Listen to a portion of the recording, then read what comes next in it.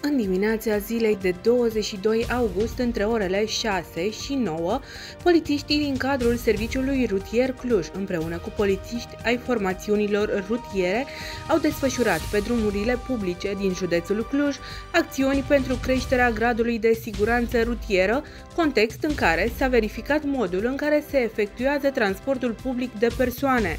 Totodată, polițiștii au urmărit depistarea conducătorilor auto care conduc sub influență influența băuturilor alcoolice și care astfel pun în pericol siguranța tuturor participanților la trafic.